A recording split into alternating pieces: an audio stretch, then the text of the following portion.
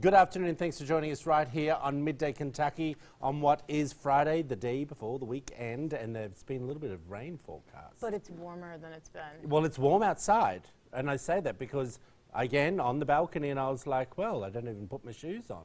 It's not even cold. And I you, you told us this week that you don't even wear socks when it is cold. never wear so socks. Never, ever, ever, ever. But I was about to say to you that I was standing on the balcony thinking to myself, I sound like um, what's that woman with the long hair in the play? Rapunzel. Rapunzel when I say standing on the balcony. Um, I was standing there thinking, oh, it's going to rain because it's too warm for this time of the year. And That's my country bones coming out in me. Well, uh, can we just go back to the Rapunzel? Are you waiting to be rescued? Is this like a hidden? Always.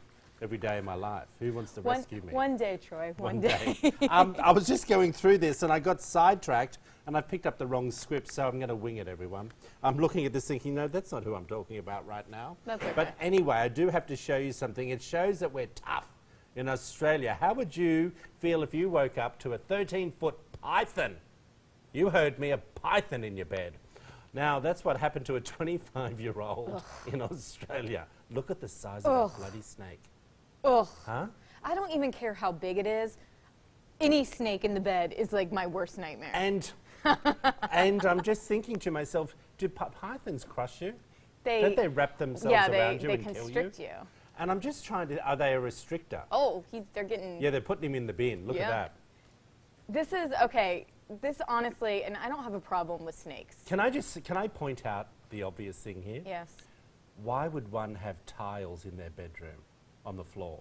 Maybe they live on a beach house. And I'm more concerned about that than the snake. But that's because you're just, I feel like you're blocking out the snake because you don't even like snakes to begin with. So no, I, no, but the thing is, is I when I say I grew up with snakes, I grew up with them around the house and in the stables. We had carpet snakes. Yeah, we, ha- I mean, I'm in Florida. We have every kind Yeah. of snake you can think of, Look. but I don't want them in my bed. I don't want any 13 Because this is anything why. in my bed. Well, listen, they're gonna go towards you because they want your warmth, and then you wake up with this.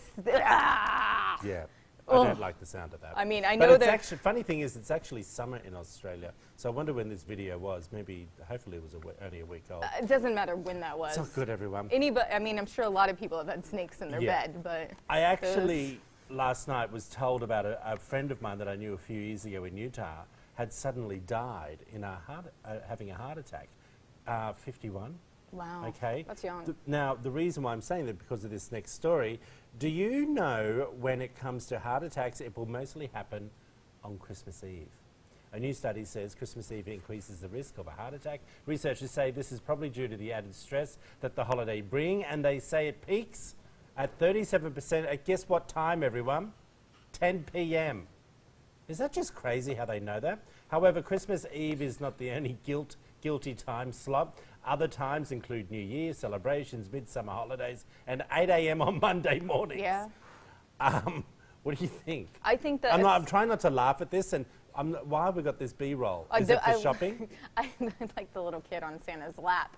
That oh, is okay, stressful. holiday stress. Okay, I got it now. I, I'm like, yeah, well, th- I think having the snake in the bed would be more apt to give me a heart attack, but stress obviously leads to it. mm-hmm. And uh, holidays are stressful.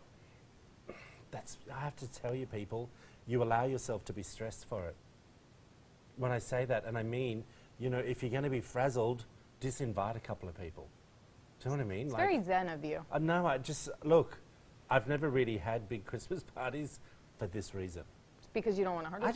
just, I don't want a heart attack, but I also think, why stress yourself out? I used to, s- I used to have um, Christmas Eve in Australia, of course, as we all do, after my shops were closed, and I would go and buy, you know, those lobster tails. Yes. So I'd go and buy some fresh lobster tails and some brown bread rolls, and put them in the microwave for 10 seconds with lots of butter, and put the lobster roll in. I was so peaceful, and I thought I could sit here for days Just by this yourself? very happy. And then on Christmas Day, I'd have to go to a function that friends, and they're all friends, so it was always nice to go. But I used to watch everyone, and they're all family, I wasn't. They're all frazzled the whole time.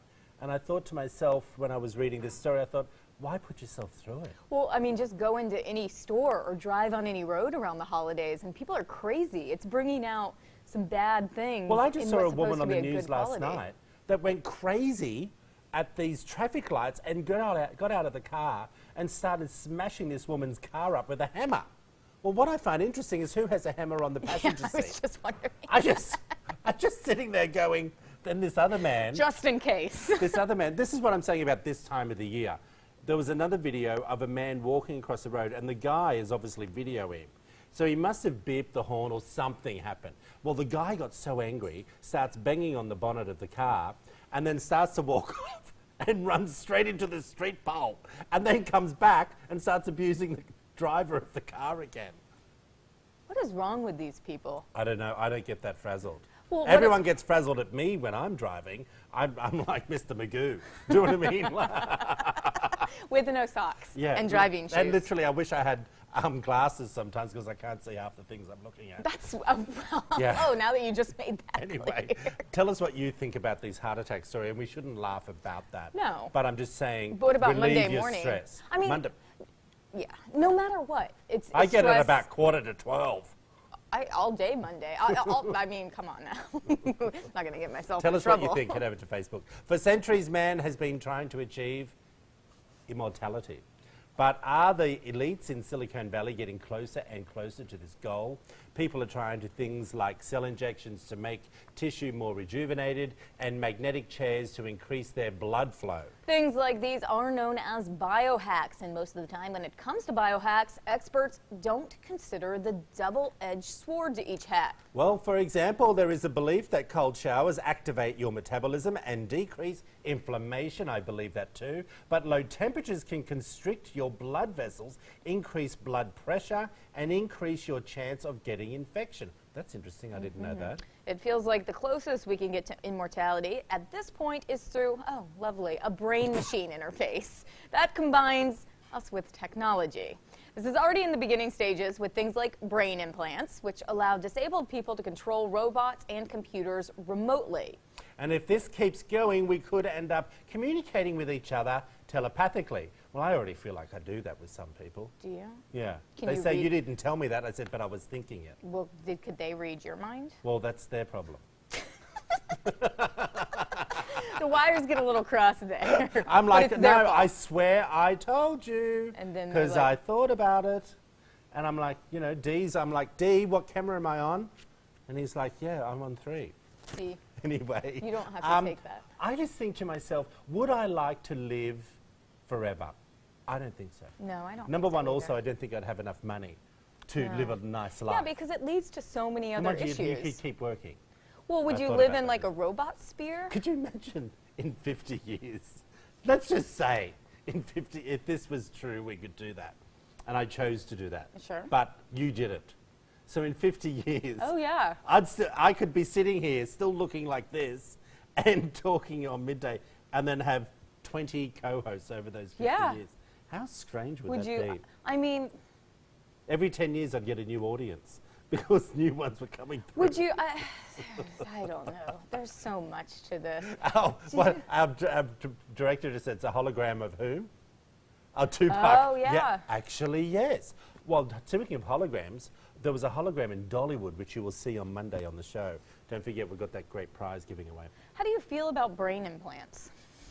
Sometimes I think the people need Just you know, that's a real easy topic. Yeah. You're at dinner. Like, please. So, that, I'm sure we all think a few people need them in our lives. that is true. Yeah, let's move on. You're probably familiar with the idea that wisdom comes with age, but did you know that happiness does too? Researchers show that the older you get, the more content and self assured you actually are. In a recent study, people in their 60s were happier than those who were younger. While we don't get the secret, here are a list of factors that may help. What's the first one, darling? Older people have better mental health. People in their 20s and 30s had higher levels of depression. Okay, see, this one gets me. I don't understand how a 20 year old can have um, signs of mental health. Um, Social media. oh, okay. See, well, you have a lot I to didn't live even up think to. of that. You're young, you're insecure, you're still trying to keep up with. I don't At- think it's a Jones. At 20, I had three salons. At 24. So at 21, I bought my. And not everyone is a high achiever. Well, Do you know it's, I mean? it's, I don't even know if it's that because I mean, there's some 20 year olds who graduated college by the time Yeah. they're 20 and are doctor. You know, I don't know if they're I don't, I don't get it. I don't get that one. What's It's, the second one? I think one? it's insecurity. Yeah, uh, your you. life is likely more stable the older you get. Mm, Eh, Okay. maybe. Unless you go through divorce or. Some stuff. yeah. All right. Happiness now means being content with what you have, and those times are peaceful, calm, or relaxed. Is that saying because they can't get up and do stuff? I don't know wrong. about that one. Yeah, I don't know about that. Yeah, one. Yeah, and the fourth one is your brain might be wired to fewer negative emotion responses, emotional responses, I should say, as you age. Researchers suggest that reactions subdued as you get older. That I believe. Well, and I think too, I'm just waiting for that day. you've been, me too, you've been through so much at this point in your life, you're not going to get as worked up about issues. You realize they either work themselves out or that it's not worth worrying about. It's experience. Yep, I'm, I'm like, you know, who doesn't listen to their nonna and nonna? Oh, well, grandmother, grandfather. Who doesn't listen to their pops, or, you know, sitting on the back stoop? Sure. You know, they always had great sound advice. Um, I used to love coming home and listening to nonna. Think they, While we're they picking just the ends of the beans off. It's, you, they're not as worried. It talks in here that 20s and 30s are high rates of depression because you're still kind of figuring yourself I get, out. I get where I didn't think of that. it I- says you're happiest in your 60s. That's where it's kind of at that peak. well, you're on the verge of retiring. well, I don't know. What I just saw 70 Kids are is the new 40. So, and if you lived forever, what, what how would this throw a wrench or a hammer hey, very that? quickly, we've got to give a shout out to Anthony Smallwood. Get out of the bathrobe and have a shower, my friend. he was telling me that earlier on. I don't know Breakups what's are- on. Breakups are hard, and being dumped is a horrible feeling. It's not easy for either person involved, but if you're the one making the move, there are a list of things you can do to help ease the pain on both sides. What is the first one? Tell the truth, but as, what is it, Bobby? Who sings that song? Don't be cruel. Don't be cru- I don't know. New Bobby, edition. What's his name? Why can't I think? of Bobby Brown. Yep, there you go. Don't be cruel. You owe it to them to explain why, but there is a nice way to say it. Can I just say, the only reason why I knew that answer is because someone was mouthing it to me. I don't know, actually know one How Bobby sad Brown is it? I go with you don't. Oh my gosh. Okay, Troy. number two is do it to f- do it face to face. In fact, the best place to do it is in the privacy of their home, not your oh. Well, it's to make them feel Or comfortable. no, because then you can escape. Once you do. No, here's the thing. I do believe, I want to say this. I have had breakups. You know, I have been in relationships. I know that's hard to believe.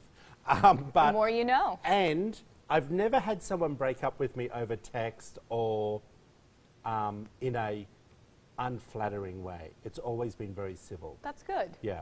That's really like good. court order papers or restraining orders. Everything is laid out very clearly. Yeah. The lawyers have said, Troy, you've split up. This is what it's costing. Oh, okay. Did it happen in your own home? I, well, I understand You know, that. there's two. I've got a story, but I'm not going to share it. I want you to today. share it. Not today. What, is it about breakups? Th- yes. Be perfect. sure.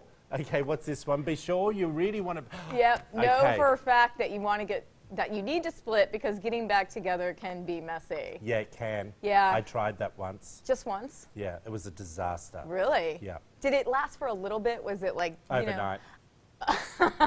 I woke up the next morning and said, yeah, I've realised why I broke how up long with time? you. How, how long time?